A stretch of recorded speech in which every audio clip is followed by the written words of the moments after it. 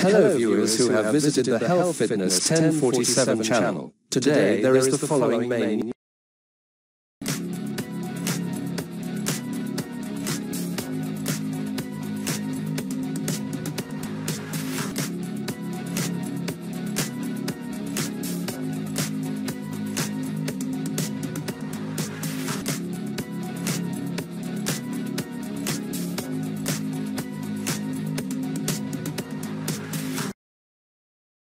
The 2024 Paralympics in Paris commenced on August 28, featuring 22 sports and 549 events over 11 days. Team Ooze's men's wheelchair basketball team kicked off their campaign with a hard-fought 66-56 victory against Spain. The match was closely contested, with Spain leading 32-29 at half-time. However, Team USA regained control in the second half, maintaining a lead despite a late push from Spain. Jake Williams led the team with 22 points. The win positions Team USA favorably for their next game against the Netherlands. Additionally, the women's team secured a strong 73-44 victory against Germany. Simone Biles and Caitlin Clark meet for the first time. Simone Biles and Caitlin Clark met for the first time on August 28 at a WNBA game between the Indiana Fever and the Connecticut Sun in Indianapolis. The Indiana Fever shared a social media video showcasing the joyful meeting, where Biles and Clark greeted each other with enthusiasm, celebrating the team's victory. Both athletes, along with track star Gabby Thomas, took photos with the Fever players, who expressed their excitement. Simone highlighted the warm reception from the team, contrasting it with her usual interactions with male athletes.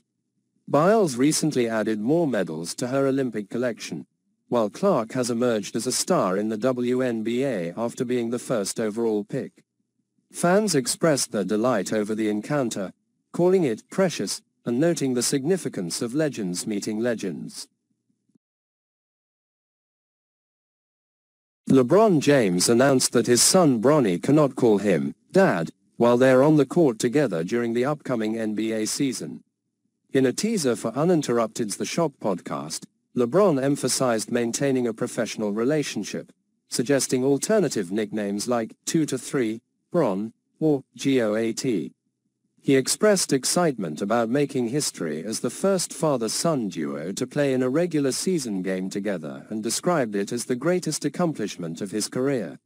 While Bronny had an uneven debut in the NBA Summer League, he previously averaged 4.8 points at USC. The new NBA season starts on October 22, marking LeBron's 21st year in the league. Ilona Maher on Sports Illustrated swimsuit cover. Ilona Maher, a standout rugby player and Olympian, has made her debut as the cover star of the September digital issue of Sports Illustrated swimsuit. This recognition comes after she led the U.S. rugby team to its first ever medal at the Paris Olympics. SI swimsuit editor MJ Day praised Maher's impact as a symbol of change that celebrates athleticism and empowerment.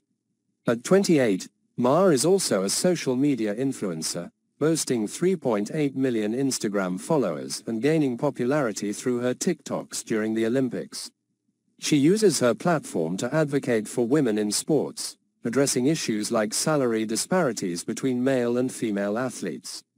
Maher's confidence around body image and strength defies stereotypes associated with female athletes, emphasizing the capabilities of women's bodies beyond objectification. After Team Ooze's victory over France in the Paris Olympics, which secured their fifth consecutive gold medal in men's basketball, Anthony Edwards revealed that he, Kevin Durant, and Stephen Curry were subjected to drug tests immediately following the game. During an appearance at Fanatics Fest, Edwards humorously noted that their celebrations were interrupted by this requirement, highlighting Curry's impressive performance of 24 points in the final. The random drug testing is standard practice for athletes after standout performances, particularly in high-stakes situations like the Olympics. This win marked a significant achievement for Team USA, further solidifying their dominance in Olympic basketball. Caitlin Clark and Angel Reese make WNBA history in rookie seasons. In a remarkable day for rookies in the WNBA, Caitlin Clark and Angel Reese made headlines with record-breaking performances.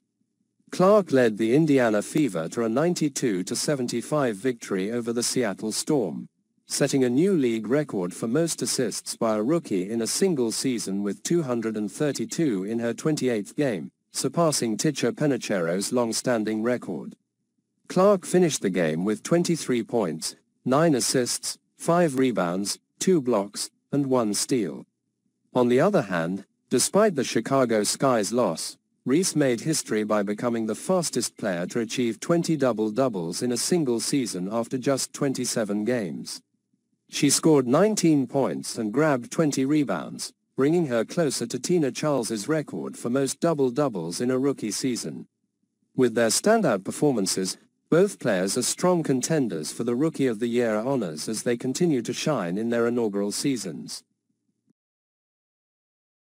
Olympian Noah Lyles recently revealed that he grew up in a super strict cult during an interview on the Everybody Wants to Be Us podcast. The 27-year-old track and field star, who won gold men's 100-meter race at the 2024 Paris Olympics, described the controlling environment of the cult, which mandated homeschooling and dictated personal relationships. This upbringing complicated his understanding of faith and left lasting impacts on him and his family particularly his mother.